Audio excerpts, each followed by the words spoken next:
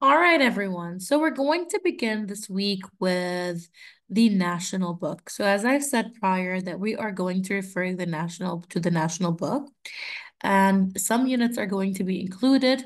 However, this is more of a research unit. It's more towards criterion B and C, which means it will be not it will not be included in the E2, but included in the A4.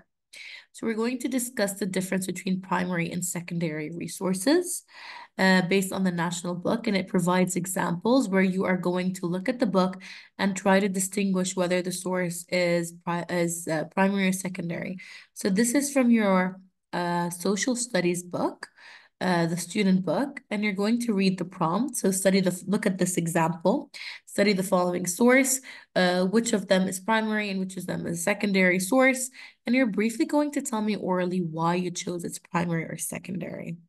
Okay, then we're going to move on to another unit, uh, another, sorry, uh, another, yeah, another subunit from the social studies book that defines peace and security. Now, don't forget, this is related to what we're taking in INS and our INS book by Concept MYP Year 1, because our entire unit is about how to become global citizens. So we're going to look at the word peace and security and how these terms are directly associated with our unit.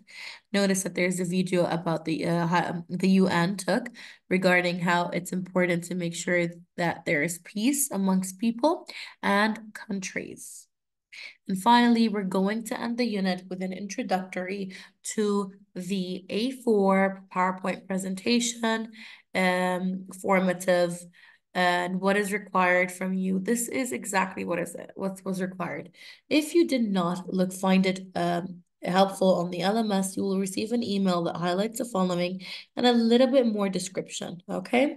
So take a look here. Your, tra your task is going to uh, uh, to address different aspects of poverty. Each group will receive one type of poverty where they're going to be uh, need the where you are going to need sorry to create an informative PowerPoint presentation targeting this issue and coming up with realistic solutions.